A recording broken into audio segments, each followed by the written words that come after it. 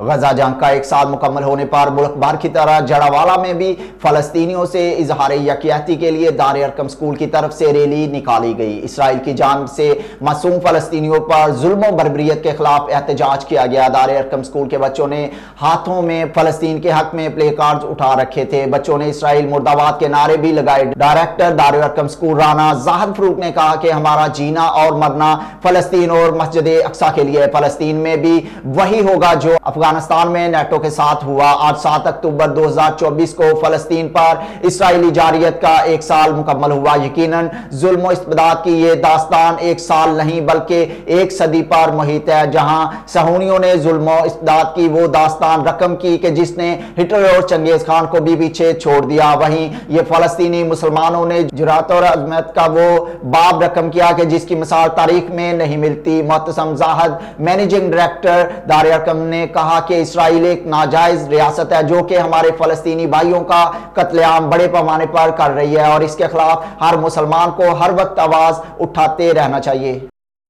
आज हम दायरकुम का तमाम स्टूडेंट्स और तमाम टीचिंग स्टाफ, आज हम फ़लस्तीन के साथ इजहार यकजहती के लिए यहाँ पे जमा हैं।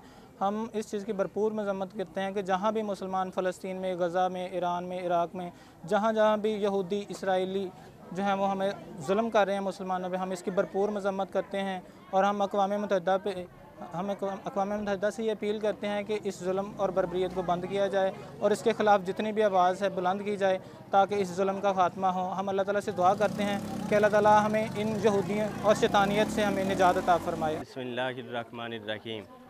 आज हमने एक छोटी सी रैली का अहतमाम किया है।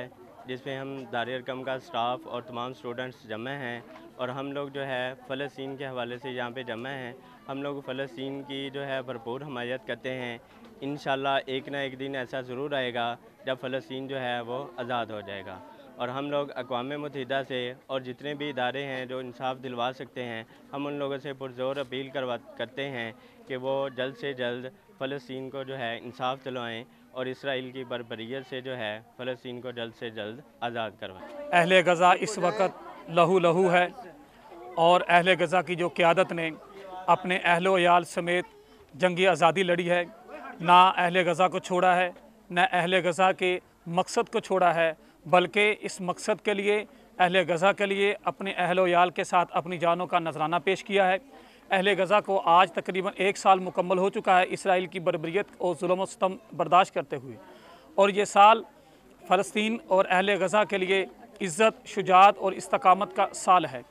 हम भरपूर मसम्मत करते हैं इसराइल की जुलमस्तम के ऊपर और अकवा मतहदा आलमी अदालत इंसाफ से ये मुतालबा करते हैं वो जल्द अज जल्द जंगबंदी का अपना करदार अदा करे और फ़लस्तीन की जो नस्ल कशी हो रही है, इसको भरपूर तरीके से जो है वो रोका जाए।